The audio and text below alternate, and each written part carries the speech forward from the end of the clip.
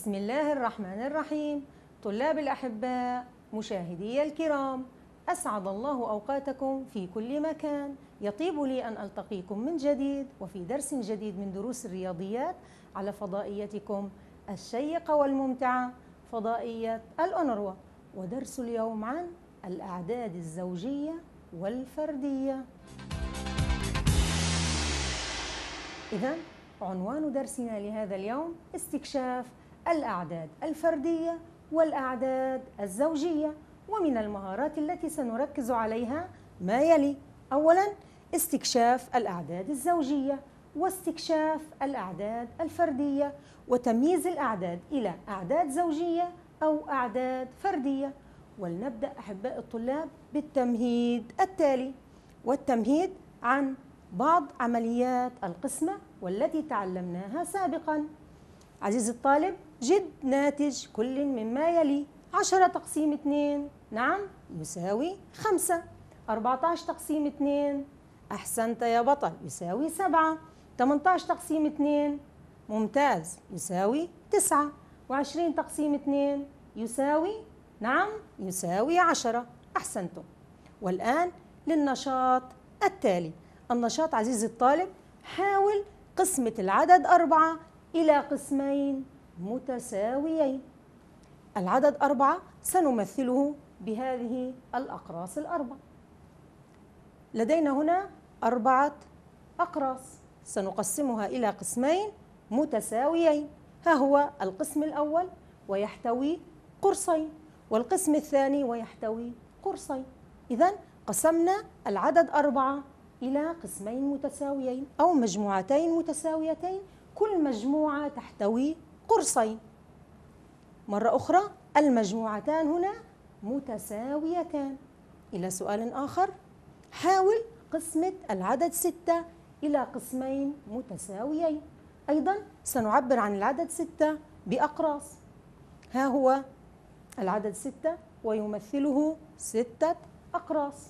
سنقسم هذه الأقراص إلى مجموعتين. ها هي المجموعة الأولى أو القسم الأول من ثلاثة أقراص والقسم الثاني أيضا من ثلاثة أقراص. إذا يمكن تقسيم العدد ستة إلى مجموعتين متساويتين تماما وكل مجموعة تحتوي ثلاثة أقراص. لنرى سؤالا آخر. حاول قسمة العدد 14 إلى قسمين متساويين. أيضا هنا سنمثل العدد 14 ب 14 قرصا. ها هي الأقراص الأربعة عشر. سنقسمها إلى مجموعتين متساويتين. كما ترى عزيزي الطالب ها هي المجموعة الأولى.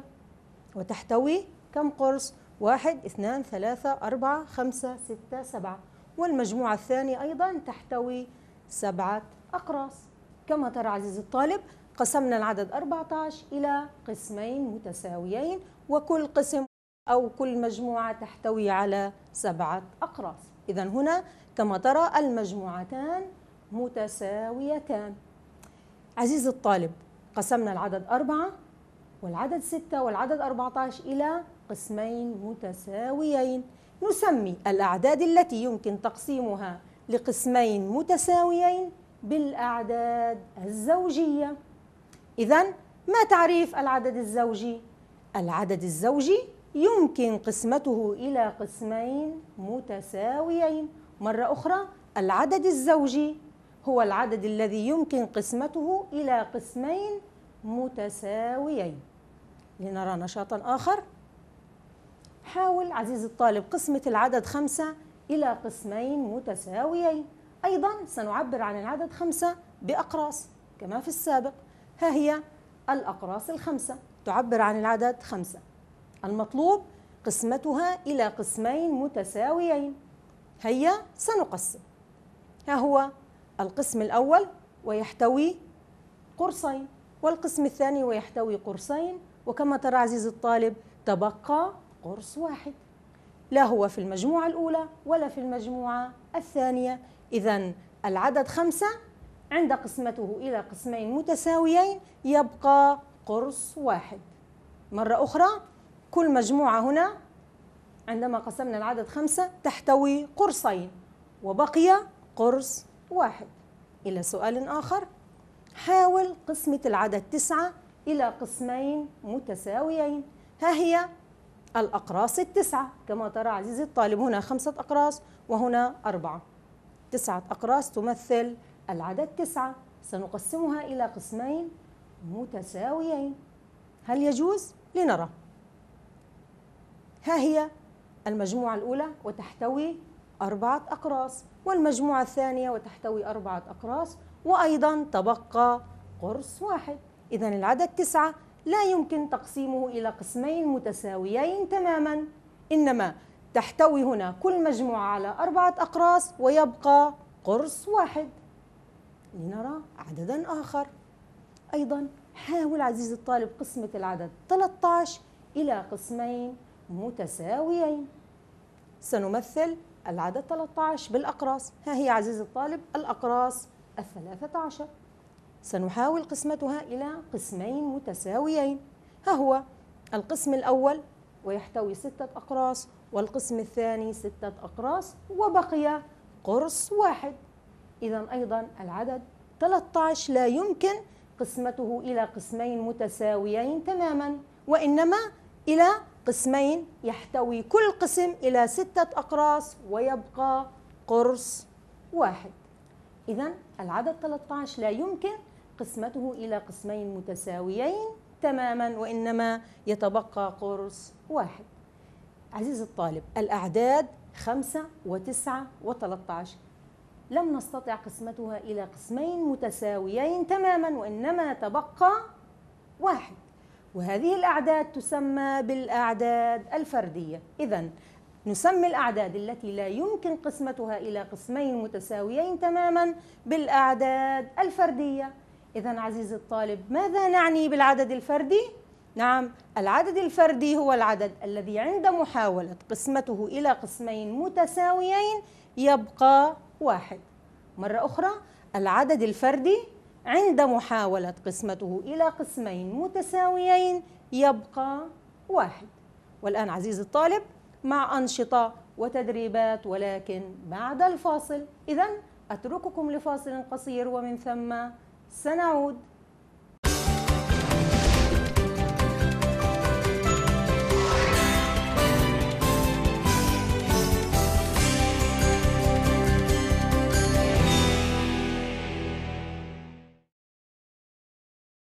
أهلا وسهلا بكم أحبائي الطلاب في الجزء الثاني من درس الأعداد الزوجية والأعداد الفردية. قبل الفاصل تعرضنا إلى تعريف العدد الفردي وهو العدد الذي عند محاولة قسمته إلى قسمين متساويين يبقى واحد والعدد الزوجي وهو العدد الذي يمكن قسمته إلى قسمين متساويين. والآن دعونا نحل النشاط التالي. اكتب عزيزي الطالب كلمة فردي أو زوجي لكل من الأعداد التالية. الآن سنميز إن كان العدد فردي أم زوجي. العدد هنا ممثل بأقراص. إذا ماذا سنفعل؟ أحسنت يا بطل سنقسم هذه الأقراص إلى قسمين متساويين. إن تبقى قرص يكون العدد فردي وإن لم يتبقى قرص أي يمكن القسمة إلى قسمين متساويين تماما يكون العدد زوجي. هيا لنقسم. ها هو العدد وها هو القسم الأول وها هو القسم الثاني. قسمين متساويين تماما كما ترى عزيزي الطالب. القسم الأول يحتوي كم قرص؟ واحد اثنان ثلاثة أربعة خمسة ستة سبعة ثمانية. والقسم الثاني يحتوي واحد اثنان ثلاثة أربعة خمسة ستة سبعة ثمانية أقراص ولم يتبقى أي قرص. إذا هذا العدد يسمى عدد زوجي. إلى سؤال آخر أيضا سنميز إن كان هذا العدد زوجيا أم فرديا. ماذا سنفعل؟ سنقسم إلى قسمين. كما ترى عزيزي الطالب ها هو القسم الأول. ويحتوي كم قرص؟ واحد اثنان ثلاثة أربعة خمسة ستة سبعة ثمانية. والقسم الثاني أيضا يحتوي ثمانية أقراص ولكن كما ترى تبقى قرص. إذا هذا العدد يسمى عدد فردي. إلى سؤال آخر. ومهارة أخرى. كما ترى عزيزي الطالب لدينا هنا جدول من الأعداد الزوجية. أحسنت يا بطل. هذه الأعداد تسمى أعدادا زوجية. الأعداد في الجدول التالي جميعها زوجية كما ترى. أي يمكن قسمتها إلى قسمين متساويين تماما دون أن يتبقى واحد. لاحظ عزيزي الطالب على رقم الآحاد في كل عدد. انتبه على رقم الآحاد في العمود الأول مثلا كما ترى رقم الآحاد هنا اثنان. في العمود الثاني رقم الآحاد في جميع الأعداد أربعة. العمود الثالث كما ترى عزيزي الطالب ستة. وفي هذا العمود رقم الآحاد ثمانية وفي العمود الأخير رقم الآحاد صفر. إذا في مجموعة الأعداد الزوجية هذه كما ترى من العدد اثنان حتى العدد خمسين رقم الآحاد إما اثنان وإما أربعة أو ستة أو ثمانية أو صفر. إذا العدد الزوجي رقم آحاده إما صفر أو اثنين أو أربعة أو ستة أو ثمانية. مرة أخرى العدد الزوجي يكون رقم آحاده إما اثنان أو أربعة أو ستة أو ثمانية أو صفر. العدد الزوجي مرة أخرى هو عدد كلي آحاده أحد الأرقام صفر أو اثنين أو أربعة أو ستة أو ثمانية. إلى مهارة أخرى الأعداد في الجدول التالي عزيزي الطالب جميعها فردية كما ترى. أي عند قسمتها إلى قسمين متساويين يبقى واحد كما ذكرنا في الأمثلة السابقة. انتبه عزيزي الطالب إلى رقم الآحاد في هذا الجدول. أي في الأعداد الفردية أمامك. رقم الآحاد هنا في العمود الأول هو واحد ورقم الآحاد هنا ثلاثة وهنا رقم الآحاد كما ترى في جميع الأعداد هنا خمسة. وفي هذا العمود رقم الآحاد سبعة. وفي هذا العمود رقم الآحاد تسعة. إذا العدد الفردي يكون آحاده إما واحد أو ثلاثة أو خمسة أو سبعة أو تسعة. مرة أخرى العدد الفردي هو عدد كلي آحاده. أحد الأرقام واحد أو ثلاثة أو خمسة أو سبعة أو تسعة. من هذا؟ العدد الفردي. عزيزي الطالب سنستخدم هذا التعريف في حل النشاط التالي. اكتب كلمة فردي أو زوجي لكل من الأعداد التالية. العدد 67 هل هو فردي أو زوجي؟ ماذا سنفعل أعزائي الطلاب؟ أحسنتم. سننظر إلى رقم الآحاد. رقم الآحاد في هذا العدد سبعة. إذا هذا العدد هو أحسنتم يا أبطال هو عدد فردي. لنرى عددا آخر. العدد 92 سننظر إلى رقم الآحاد. أحسنتم رقم الآحاد بالعدد 2 إذا العدد 92 هو عدد زوجي. إلى عدد آخر. العدد 38 رقم آحاده هو ثمانية. إذا هذا العدد أحسنتم هو عدد زوجي. وننتقل إلى سؤال آخر أيضا. هل العدد 35 زوجي أم فردي؟ سننظر إلى رقم الآحاد به خمسة. إذا العدد 35 هو عدد فردي. وإلى نشاط آخر ولكن بعد الفاصل. إذا أترككم لفاصل قصير ومن ثم سنعود. انتظروني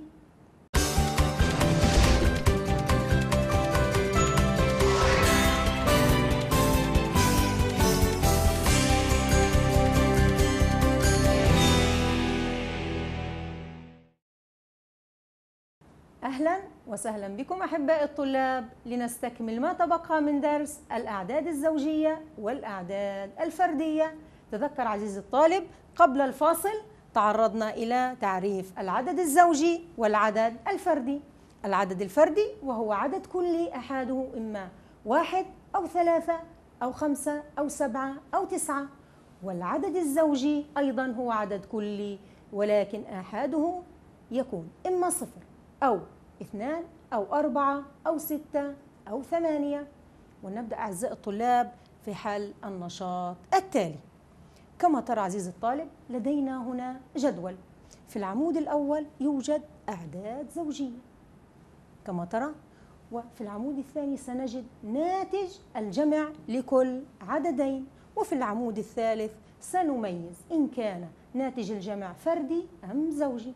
إذا سنجمع الأعداد. كما ترى في السطر الأول اثنان زائد أربعة كم يساوي؟ يساوي ستة.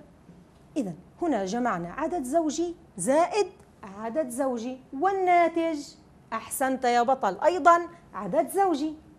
سؤال آخر. ستة زائد ثمانية كم يساوي؟ أربعة عشر. ستة عدد زوجي زائد عدد زوجي آخر والناتج أحسنتم. عدد زوجي. سؤال آخر. عشرة زائد ثمانية ويساوي ثمانية عشر. هنا عدد زوجي عشرة عدد زوجي زائد ثمانية عدد زوجي والناتج أيضا عدد زوجي. إذا ماذا نستنتج؟ أحسنتم نستنتج أن مجموع عددين زوجيين هو عدد زوجي. مرة أخرى ناتج جمع عددين زوجيين هو عدد زوجي. إلى مهارة أخرى أيضا نفس الأعداد ولكن هنا سنجد ناتج الضرب ثم نميز إن كان ناتج الضرب زوجيا أم فرديا. اثنين ضرب أربعة يساوي ثمانية. هل ناتج الضرب هنا زوجي أم فردي؟ نعم إنه عدد زوجي. السطر الثاني ستة ضرب ثمانية يساوي ثمانية وأربعين. اتفقنا أن العددين زوجيين. وناتج الضرب أيضا أيضا عدد زوجي عشرة ضرب ثمانية يساوي ثمانين ناتج الضرب هنا ثمانين هل هو زوجي أم فردي؟ نعم أحسنتم هو عدد زوجي ماذا فعلنا أعزائي الطلاب؟ ضربنا عدد زوجي ضرب عدد زوجي وماذا كان الناتج في كل مرة؟ كان الناتج كما ترى عزيزي الطالب عدد زوجي إذا ماذا نستنتج؟ أحسنتم يا أبطال. نستنتج أن ناتج ضرب عددين زوجيين هو عدد زوجي. مرة أخرى ناتج ضرب عددين زوجيين هو عدد زوجي. إلى سؤال آخر. في هذا الجدول عزيزي الطالب كما ترى في العمود الأول أعداد فردية. سنجد ناتج الجمع ثم نميز إن كان ناتج الجمع زوجي أم فردي. إذا هنا لدينا الأعداد فردية كما ترى ثلاثة عدد فردي والسبعة عدد فردي. إذا هنا سنجمع ثلاثة زائد سبعة يساوي عشرة. ثلاثة فردي زائد عدد فردي آخر والناتج أحسنتم عدد زوجي لأن العدد عشرة زوجيا. خمسة زائد تسعة كم يساوي؟ يساوي أربعة عشر. الناتج هنا الناتج زوجي أم فردي؟ أحسنت يا بطل الناتج زوجي. الأعداد هنا فردية ولكن الناتج زوجي. سنرى هنا واحد زائد 13 كم يساوي؟ 14 واحد فردي زائد عدد فردي آخر 13 يساوي 14 الناتج هنا أحسنت الناتج هنا زوجي. إذا ماذا تلاحظ عزيزي الطالب؟ نلاحظ أن ناتج جمع عدد فردي زائد عدد فردي هو عدد زوجي. إذا مرة أخرى نلاحظ أن مجموع عددين فرديين هو عدد زوجي. إلى سؤال آخر أيضا على نفس الجدول كما ترى عزيزي الطالب العمود الأول به أعداد فردية. هنا سنجد ناتج الضرب ثم سنميز إن كان الناتج فردي أم زوجي. إذا هنا سنضرب. ثلاثة ضرب سبعة كم يساوي؟ واحد وعشرين. هنا ثلاثة عدد فردي ضرب عدد فردي آخر والناتج عدد فردي أحسنت إذا ناتج الضرب هنا عدد فردي. سنرى هنا خمسة ضرب تسعة خمسة وأربعين. الخمسة عدد فردي والتسعة عدد فردي وناتج الضرب أحسنت يا بطل. عدد فردي لأن أحاده خمسة. واحد ضرب 13 يساوي 13 ناتج الضرب هنا أيضا عدد فردي. إذا ماذا تلاحظ عزيزي الطالب عند ضرب عدد فردي؟ ضرب عدد فردي آخر. أحسنت يا بطل يكون ناتج الضرب عدد فردي. إذا نلاحظ أن ناتج ضرب عددين فرديين هو عدد فردي. ناتج ضرب عددين فرديين هو عدد فردي. إلى سؤال آخر. كما ترى عزيزي الطالب أكمل الجدول. كما ترى عزيزي الطالب في العمود الأول لدينا عدد فردي وآخر زوجي. والعمود الثاني المطلوب ناتج الجمع وفي العمود الثالث سنميز إن كان ناتج الجمع فردي أم زوجي. إذا هنا سنجمع عدد فردي زائد عدد زوجي والناتج كما ترى يساوي خمسة. هذا العدد خمسة فردي أم زوجي؟ أحسنت يا بطل هو عدد فردي. سنجمع هنا خمسة زائد أربعة ويساوي تسعة. عدد فردي زائد عدد زوجي يساوي نعم الناتج عدد فردي. سؤال آخر سبعة عدد فردي زائد ستة عدد زوجي يساوي 13 الناتج 13 هو عدد أحسنت هو عدد فردي. إذا ماذا فعلنا أعزائي الطلاب؟ جمعنا عدد فردي زائد عدد زوجي والنتيجة كانت في كل مرة عدد فردي. إذا نلاحظ أن ناتج جمع عدد فردي مع عدد زوجي هو عدد فردي. مرة أخرى ناتج جمع عدد فردي مع عدد زوجي هو عدد فردي. إلى سؤال آخر. كما ترى عزيز الطالب نفس الأعداد في الجدول السابق عدد فردي وعدد زوجي والمطلوب هنا ناتج الضرب. ثم سنميز إن كان ناتج الضرب فردي أم زوجي. إذا هنا سنضرب. ثلاثة ضرب اثنين ويساوي ستة. ناتج الضرب هنا عزيزي الطالب العدد ستة. هل هو زوجي أم فردي؟ نعم هو عدد زوجي. السؤال الآخر خمسة ضرب أربعة يساوي عشرين. الخمسة عدد فردي. ضرب الأربعة عدد زوجي والناتج عدد زوجي. سبعة ضرب ستة يساوي 42 الناتج هنا عدد أيضا عدد زوجي. إذا نلاحظ أن ناتج ضرب عدد فردي ضرب عدد زوجي هو عدد زوجي. مرة أخرى نلاحظ أن ناتج ضرب عدد فردي في عدد زوجي هو عدد زوجي. والآن أعزائي الطلاب سنستخدم هذه الملاحظات في حل التمرين التالي. عزيزي الطالب ضع إشارة صح أو خطأ للجمل التالية الجملة الأولى ناتج ضرب عددين زوجيين هو عدد زوجي. ناتج ضرب عددين زوجيين عدد زوجي؟ أحسنت يا بطل العبارة صحيحة. العبارة الأخرى مجموع عددين فرديين هو عدد فردي. هل هذه العبارة صح أم خطأ؟ أحسنت يا بطل هذه العبارة خطأ. لأن ناتج جمع عددين فرديين هو عدد زوجي مثل خمسة زائد ثلاثة يساوي ثمانية الناتج عدد زوجي. الجملة الثالثة ناتج جمع عدد فردي مع عدد زوجي هو عدد فردي. هذه الجملة أحسنت يا بطل جملة صحيحة. جملة أخرى مجموع عددين زوجيين هو عدد زوجي. نعم الإجابة صحيحة. أحسنت يا بطل. الجملة صحيحة. ناتج ضرب عدد فردي في عدد زوجي هو عدد زوجي. نعم؟ أحسنت يا بطل هذه الجملة أيضا صحيحة.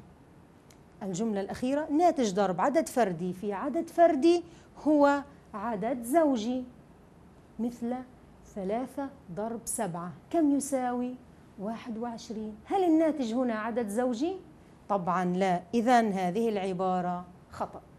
والسؤال الآن أحباء الطلاب للمتفوقين أعزائي الطلاب هل يمكن لعدد ما أن يكون زوجيا وفرديا في نفس الوقت؟ هل يمكن؟ ابحثوا عن ذلك بهذا أحباء الطلاب نكون قد وصلنا إلى نهاية درس اليوم والذي تعلمنا من خلاله استكشاف الأعداد الزوجية واستكشاف الأعداد الفردية والتمييز إلى أعداد زوجية أو فردية وإلى لقاء آخر أستودعكم الله والسلام عليكم ورحمة الله وبركاته.